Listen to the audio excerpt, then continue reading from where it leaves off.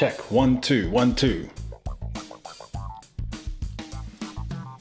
G'day everyone, my name is Dave and today, today is Father's Day. Well, it's not Father's Day when you're watching this, but it is Father's Day when I'm recording this. So to all the dads out there, Happy Father's Day. Now, I'm a dad to three daughters, so I want to let all the dads out there know that being a good father will be the greatest accomplishment of your life. there is not a chance I'm singing that good, good father song. Now, today we're not talking about dads, we're actually talking about prayer, and specifically, I want to give you a better way to pray. So, roll the intro.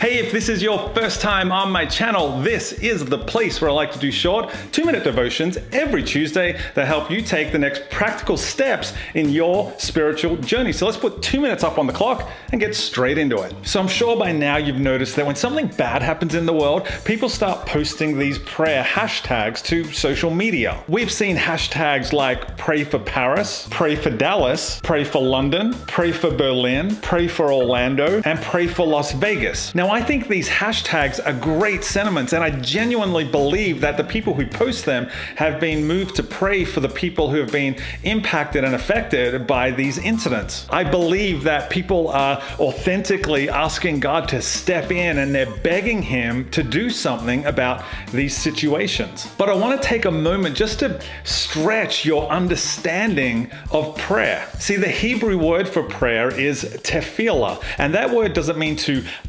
or to beg, it actually means to self evaluate. To the Jews of the Bible, prayer wasn't a time when they asked God, asked, the asked, to the Jews of the Bible, prayer wasn't a time when they asked God for things. It was a time when they evaluated themselves. It was a time when they examined their actions and their behavior and their place in the world to see if they lined up with God's purposes. To them, prayer wasn't about words, it was about action. It was about doing something, saying something, changing something in an effort to bring God's kingdom here, to bring God's will to earth as it is in heaven. Prayer should always involve action about us doing things. It's like I've said before, we have to learn to pray with our feet. I did a whole video on praying with your feet a little while ago, and I'll leave the link up there. Wait, it might be up there. Uh, it's gonna be up there somewhere.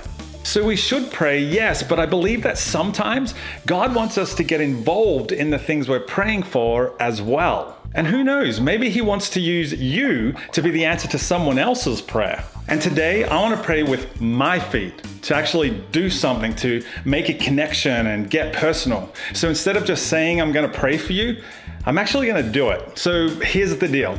If you've been watching this and you need prayer, then I want you to text me on my cell phone anytime.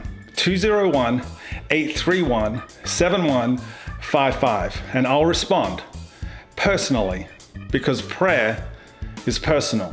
I'll make sure to leave my cell number in the YouTube description as well. And if you'd prefer, you can always leave a comment with your prayer request. Well, thanks so much for watching. If I don't get a text from you, then I'll see you right here next Tuesday.